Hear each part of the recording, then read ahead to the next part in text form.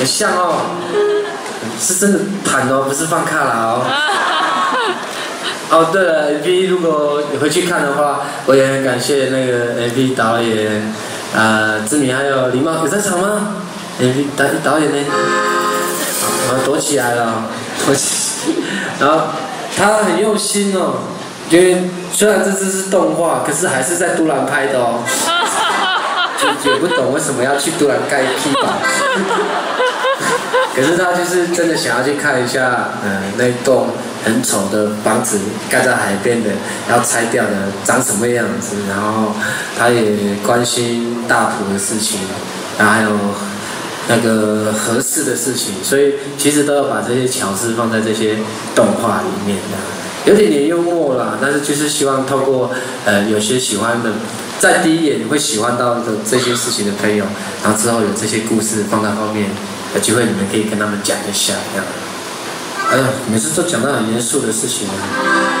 好，讲这一首这一张专辑为什么叫美式生活？知道了吗？啊，Miss Life 翻译成中文叫美式生活，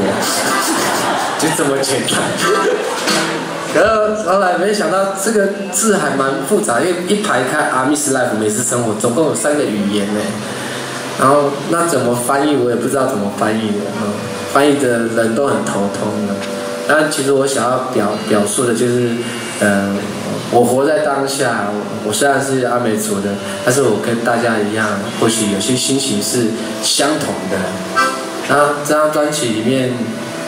这首歌最特别，因为这首歌我直接写出来啊，我们阿美族讲叫阿布富。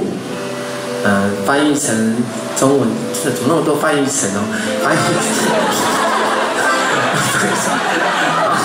哎呀，好了好了，对我前阵子才跟他合作过的，对，如果你没有看台南跨年的话，翻译成旁边站的不是那个，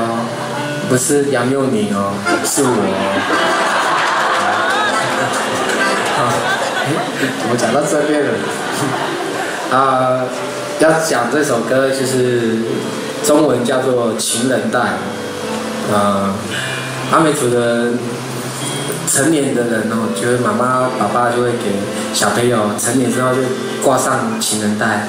啊，就代表你可以谈恋爱，有新的家庭了。啊，以前的谈恋爱当然就很很就是很可爱啦，大家现在看起来还蛮可爱，因为很单纯的世界。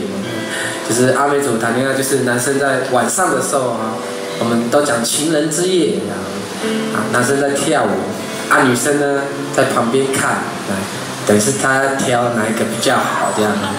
对，啊，男生就会很卖力的跳舞，要故意跳给那个他很心仪的对象，希望他可以选这样，然后女生喜欢那个男生的时候，就在跳舞过程中，他就拉男生的情人带。然后更明显一点的是，直接拿槟榔暗示他这样子呢，我要就一颗两颗这样放在男生的袋子，啊，这个就是情人带很重要的一个呃功能嘛，意义啊，就家里面的人同意你可以组一个新的家庭之后，就代表你可以有这样的恋爱的方式去表达这样的爱，但是现在都嘛都用 Facebook 啦。对，谈恋爱的方式变多了，谁还懂情人带这样的呃爱情的一种意愿呢？啊，我想要很多的爱好是呃存在的，可是可能只有呃彼此之间懂，可是别人不懂。我就用这样的心情来写这首歌《情人带》，献给各位。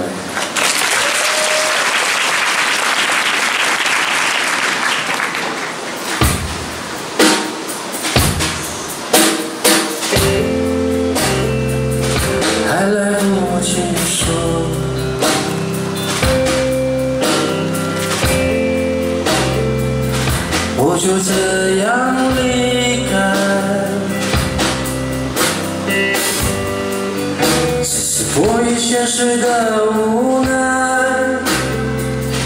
我想回来，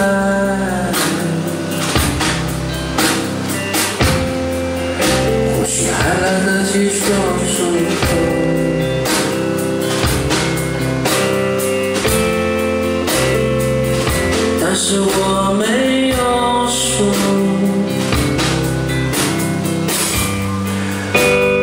是啊，别冷不。